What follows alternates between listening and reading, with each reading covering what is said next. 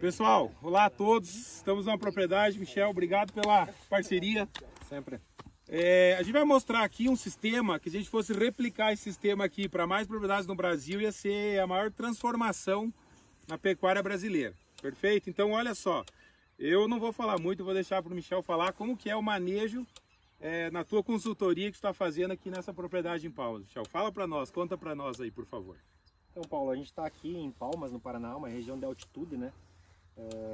Estamos a mais de mil metros de altitude que permite uma questão de integração de inverno.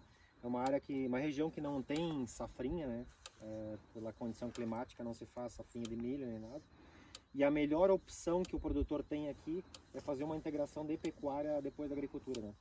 Essa é uma fazenda que a gente tem aqui 500 hectares e a gente destinou desde o projeto inicial 10% da fazenda com perenes de, de verão, né, que a gente mantém o gado no verão e faz o uso do inverno dessas áreas. Então isso aqui é tudo área de lavoura, né, uhum. que a gente roda com gado. Como aqui a gente tem um clima favorável, nós rodamos com azevém, a gente tem essa área de azevém aqui, um azevém de ciclo médio, né, que vai estar sendo pastejado até dezembro, nessa condição assim de estar um pasto em, em vegetativo, né. Perfeito. Diferente de, de outras variedades, mesmo uma azevém comum, aveia, que já estaria sementando, tem uma pastagem de alta qualidade. Então a gente roda aqui com pastejo rotacionado ao longo dos 5, 6 meses, até 7 meses de pastejo. Legal, e eu achei, gente, fantástico esse sistema aqui de uma placa solar, cerca elétrica.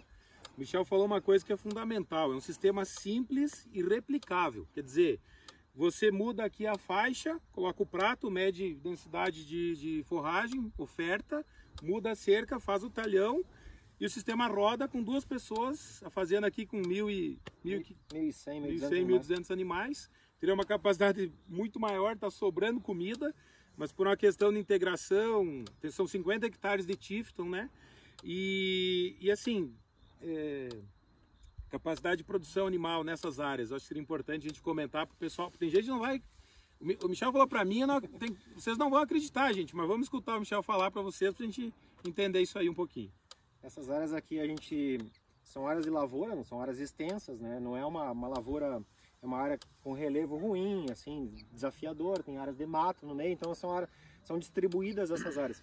E essas áreas elas, elas não têm, só tem cerca periférica, elas não têm divisão nessas áreas. O que, que a gente faz? Todas essas áreas têm acesso à água.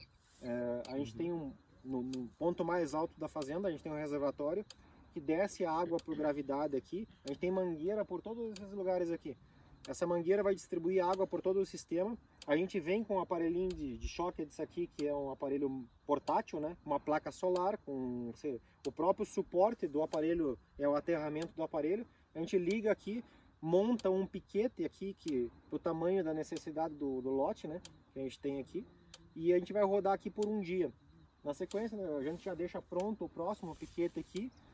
Vem aqui, abre o canto, passa os animais para o outro lado, desmancha aquela parte de trás da cerca e vai mudando isso para frente. Então, quer dizer, toda a área está livre. Se eu quiser parar isso aqui no final da estação e começar já a dessecar e, uhum. e montar já, entrar com a agricultura, já está tudo pronto, tudo liberado já. Fantástico. Então, ó, pessoal, essa fazenda em específico faz cria, recria e terminação.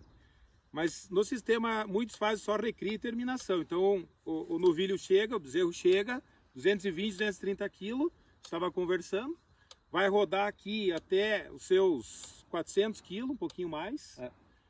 num custo muito barato, de área de dois reais e pouco. Fala para nós, conta para nós um pouquinho isso aí. É, o custo total hoje entre mão de obra, toda a questão da operação disso aqui, é, a, a, a implantação da pastagem, as adubações de cobertura, para a lotação de gado que a gente tem aqui, a gente está rodando com nove cabeças por hectare. Legal. Nós temos um, um custo de R$ 2,80 por dia. Uhum. Esses animais estão ganhando um quilo e meio por dia, só a pasto com uma dieta, uma suplementação do, do energético de baixo consumo, né? Uhum. Que roda num sistema extremamente simples ali também. É, o que dá mais ou menos aí uns 12, 13 quilos de peso vivo por hectare dia de ganho.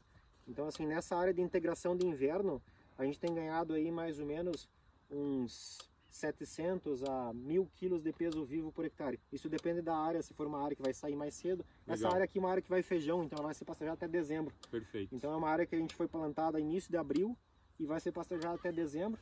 Isso deve passar de mil quilos de peso vivo por hectare, num, numa, num custo de se a gente pegar 1,50, uh, uhum. 1,5 kg de ganho, né? Uhum. Uma diária de 2,80, Uhum. tu vai ter um custo de quilo de ganho aqui na faixa de 1,70 mais ou menos. Perfeito.